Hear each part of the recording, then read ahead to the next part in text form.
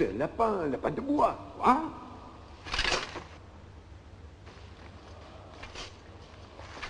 Un cadeau. What? A present. Oh, un cadeau. Oui, oui, allons-y. What? Let's go. Oh.